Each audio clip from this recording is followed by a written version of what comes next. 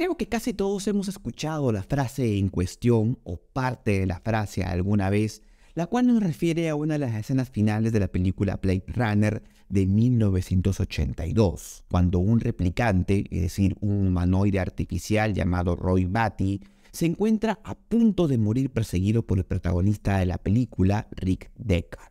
Batty, quien había sido diseñado para ser más fuerte y más inteligente que los humanos, le salva la vida a Deckard a pesar de que venía siendo perseguido por él y luego se sienta a su lado y comienza a reflexionar sobre su existencia. He visto cosas que ustedes no creerían.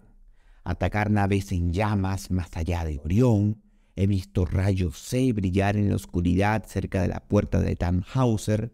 Y luego concluye... Todos esos momentos se perderán en el tiempo igual que lágrimas en la lluvia. Llegó la hora de morir.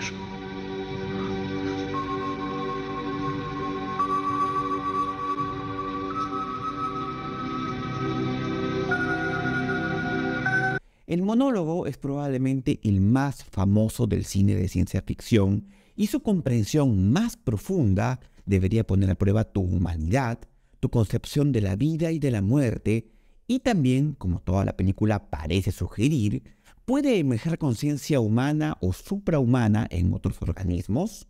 ¿Qué tan lejos has llegado con esta cuestión? Bueno, vamos a verlo a continuación, así que prepárate un café y ponte cómodo, porque esto te interesa.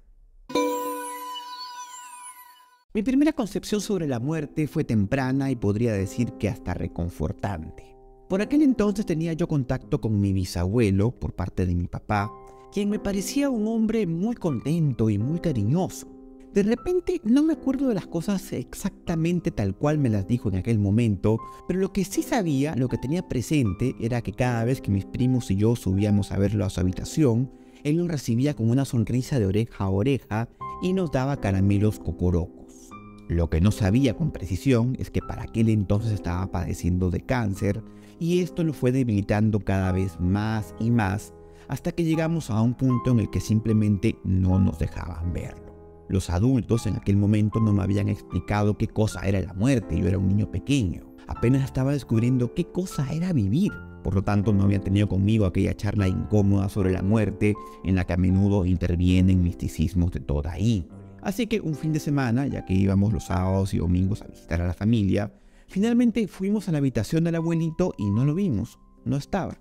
A continuación, un tío, para ahorrarse explicaciones, dijo que simplemente había salido. Nosotros no nos comimos ese cuento, sabíamos que algo estaba mal, siguiendo quizás esa especie de intuición infantil que sin mayor instrucción lógica te hace de alguna forma arreglártelas para detectar que hay una contradicción en las explicaciones de los adultos. Y allí es donde se empecina uno. ¿Por qué? ¿Por qué se fue? ¿Cuándo va a regresar? Razón por la cual, ante la vaguedad del asunto, mi primo mayor, que tenía 5 años por aquel entonces, nos dijo, se ha convertido en una estrella. Aquella que ves ahí. No tengo idea dónde leyó dónde vio eso, pero me acuerdo que durante mucho tiempo veíamos el cielo de noche imaginando que nuestro bisabuelo estaba por allí, mirándonos, protegiéndonos, feliz y brillando. En la literatura existe un tópico llamado ubi sunt. De hecho, es una pregunta. ¿Dónde están? La cuestión, que mucho tiene que ver con la filosofía, se resume en la frase latina ubi sunt qui ante nos in hoc mundo fuere. ¿Dónde están los que antes que nosotros existieron en el mundo? Tópico que se puede interpretar básicamente de dos maneras. Una de ellas parece ser el modo en el que parece atribuírsele a Agustín de Hipona en un antiguo misal latino. Oh hombre, dime, ¿dónde están los reyes? ¿Dónde están los príncipes? ¿Dónde están los emperadores que habían estado antes que nosotros? Es decir, una pregunta irónica. ¿Dónde está esa gente que se creía tan importante si no muere como murió el más pobre de nosotros? O, dicho de otro modo, según un meme muy popular por ustedes, si eran tan inteligentes porque se murieron. De tal forma que se entiende así la muerte como un fenómeno despersonalizador. No importa quién haya sido la persona en vida, no importa su fortuna, su poder, el tamaño de su tumba, ya que según Génesis 3:19, polvo eres y en polvo te convertirás. Parte de esta cuestión parece transmitirnos Roy Batty cuando dice, todos estos momentos se perderán en el tiempo como lágrimas en la lluvia. Es una protesta, un sentimiento de impotencia ante el advenimiento de una muerte como un suceso inevitable. No todos los humanos llegamos a este punto, vale decir. Muchos no atravesamos la valla de la negación y nos quedamos simplemente en el no quiero morir. Sin embargo, el replicante trasciende esa noción del final y no solo protesta, sino que acepta su destino con resignación y añade, por tanto, es hora de morir. Me ha llegado el momento. Vamos a hacer aquí un símil que seguro ofenderá el sentido religioso de muchos milenios. En esta parte, el replicante se aúna con el discurso de Jesús en la cruz y conecta con su agonía, concretamente en el Mateo 26:46, cuando Jesús dice, Padre, ¿por qué me has abandonado? Esto evidentemente como una queja, solo para que luego, en Lucas 23:46, añade, Padre, en tus manos encomiendo tu espíritu. Ambos personajes en el fondo manifiestan la misma idea. Primero el desagrado y luego la aceptación de su destino. No obstante, el replicante aquí tiene mucho más que perder que el mismo Jesús. Ya allí lo conmovedor de su discurso, ya que su sabiduría, a diferencia de la del Mesías o la de cualquier otro ser humano, no será compartida ni reconocida por nadie y más bien su recuerdo va a ser borrado de todo registro. Ahora bien, la segunda interpretación que le podemos dar a la frase se relaciona con la autoconciencia. Después de todo, el libro en el que se basó Blade Runner, Sueña a los androides como ovejas eléctricas, es precisamente si es que los androides, es decir, los humanoides artificiales y otras especies de animales replicados, tienen sueños y si además estos sueños son sueños como los tienen los seres humanos. Lo que podemos entender a su vez en dos sentidos. En el primero, el sentido literal. Es decir, los androides tienen algún tipo de imaginación que les permite construir ficciones de un estado inconsciente, pero también lo podemos entender de manera metafórica. Tienen los androides anhelos, metas o motivaciones que los empujan a seguir con sus vidas. En este caso el replicante parece responder afirmativamente cuando relata visiones maravillosas, cosas que textualmente no creeríamos.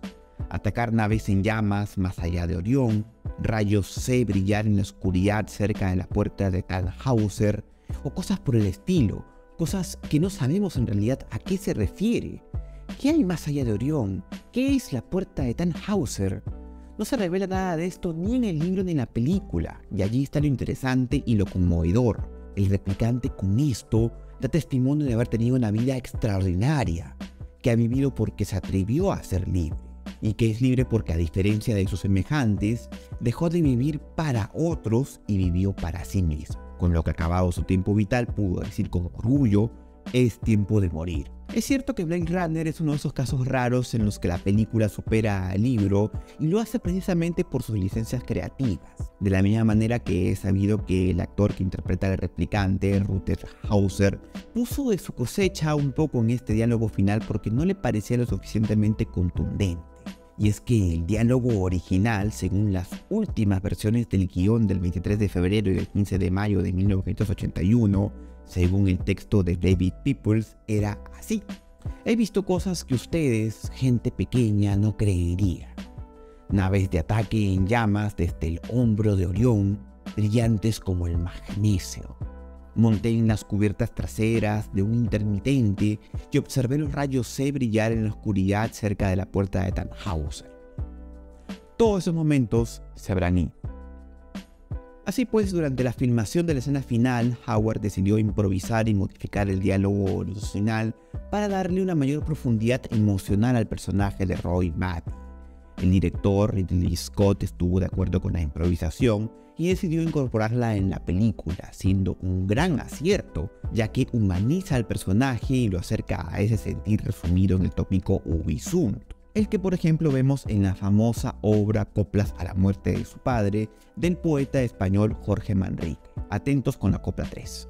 Nuestras vidas son los ríos que van a dar en la mar que es el morir. Allí van los señoríos, derechos hacia acabar y consumir. Allí los ríos caudales, allí otros medianos y más chicos, y llegados son iguales los que vienen por sus manos y los ricos. Es la vida un tránsito hacia la muerte del cual pocos tienen conciencia y más aún menos pueden aún tomar sus propias riendas y hacer de la vida algo único. Lo cual es penoso porque si al final todos vamos a morir y todos los ríos llevan a ese mar y la fiesta se va a acabar, ¿qué nos impide disfrutarla? ¿Acaso ese shock final en el que analizaremos nuestra vida y pensaremos que todo se perderá como lágrimas en la lluvia será como una especie de autosabotaje que nos llevará ahora mismo, consciente o inconscientemente, a no explorar demasiado para no agarrarle ese gusto a lo temporal bajo el pretexto de que es precisamente temporal. Hoy hemos visto dos formas de entender el tópico Ubisoft, con ironía o como yo prefiero, con coraje, con la determinación de decir yo viví y lo hice a mi manera, como dice esa famosa canción que popularizó Frank Sinatra. Es que me parece que la ambigüedad de la frase del replicante admite cierto orgullo por lo vivido, una memoria que tiene valor intrínseco. Vivencias que en efecto no serán valoradas por nadie, y ni siquiera para el que las vivió, ya que su conciencia se está extinguiendo en el infinito, sino que valen por sí mismas, por el solo hecho de haber existido. Yo aún miro el cielo y recuerdo aquella vez en la que me dijeron que mi bisabuelo se había convertido en una estrella. Hoy mis recuerdos sobre él quizás son un poco más difusos que ayer, y lo serán lamentablemente también el de las personas que se han ido sumando a esa constelación imaginaria, a la que también yo en algún momento me añadiré, en la que también forman parte personas que existieron, que existen y que existirán. ¿Dónde están los que se fueron? Es una pregunta importante porque nos describe el panorama de la existencia, pero no debe agotarse en sí.